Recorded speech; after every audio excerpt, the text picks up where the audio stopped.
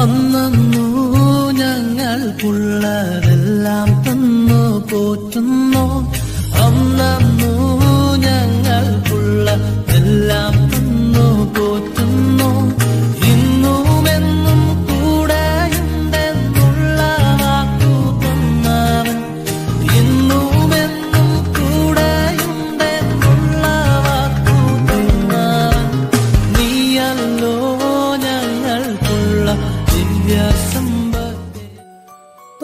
മാന്യ ശ്രോതാക്കൾക്കും സ്വാഗതം.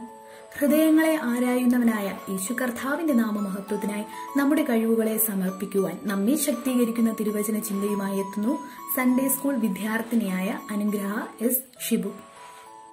ദൈവനാമം മഹത്വപ്പെടട്ടെ.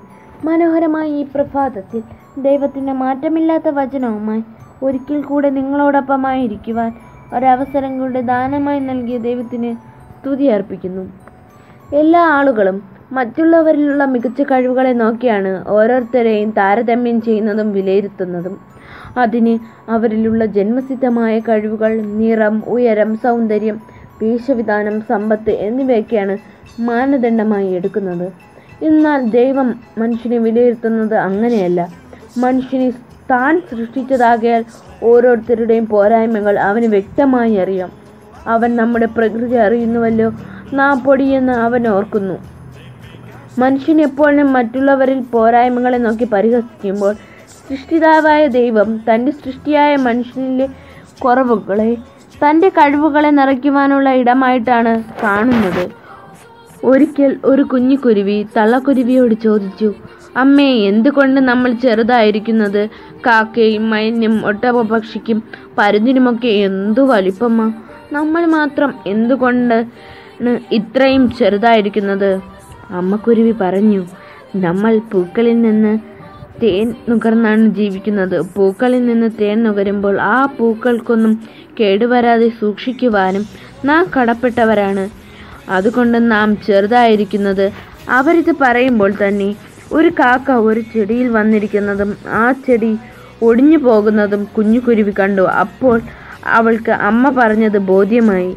ദൈവം ഓരോ മനുഷ്യനെയും സൃഷ്ടിച്ചിരിക്കുന്നത് ഓരോരോ കഴിവുകളോടെയാണ്. എന്നാൽ ദൈവം നമുക്ക് തന്നിരിക്കുന്ന കഴിവുകളെ നാം കണ്ടെത്തി അത് ദൈവരാജ്യ കെട്ടുപണിക്കായി നാം ഉപയോഗിക്കേണ്ടിയിരിക്കുന്നു. ഫിലിസ്തീൻ സൈന്യത്തിന്റെ വെല്ലുവിളിക്ക് മുൻപിൽ ആരോഗ്യമുള്ളവനെയോ ബലമുള്ളവനെയോ അല്ല ബാലകനായ ദാവിദിനെയാണ് ദൈവം തിരഞ്ഞെടുത്തത്. ഷമുവേൽ പ്രവാചകൻ തൈലക്കൊമ്പുമായി ദാമീനിനെ അഭിഷേകം ചെയ്യുന്നതായി ഇഷായുടെ ഭവനത്തിലെത്തിയപ്പോൾ ദൈവം അവനോട് പറഞ്ഞത് അവന്റെ മുഖമോ പൊക്കമോ നോക്കരുത്. മനുഷ്യൻ നോക്കുന്നത് പോലെയല്ല മനുഷ്യൻ കണ്ണിന് കാണുന്നത് നോക്കുന്നു. യഹോവയോ ഹൃദയത്തെ നോക്കുന്നു എന്ന് അരുളി ചെയ്തു. പ്രിയ സുഹൃത്തുക്കളെ ദൈവം നമ്മെ ഭൂമിയിലാക്കി വെച്ചിട്ടുള്ളത് അവന്റെ വേല ചെയ്യുന്നതിനാണ്. നമ്മിൽ നിക്ഷിപ്തമായ കഴിവുകളെ അനുസരിച്ചാണ് നമ്മെ വ്യത്യസ്ത നിലകളിൽ അവനാക്കി വെച്ചിട്ടുള്ളത്. ആ കഴിവുകളെ നാം യഥാവിധം ഉപയോഗിക്കാൻ തയ്യാറായാൽ അവൻ നമ്മെ വാലല്ല തലയാക്കും. അതിന് നമ്മെ ദൈവം സഹായിക്കട്ടെ എന്ന് പ്രാർത്ഥിച്ചുകൊണ്ട് നിർത്തുന്നു. ദൈവം നമ്മെ സമൃദ്ധമായി അനുഗ്രഹിക്കട്ടെ. ആമേൻ.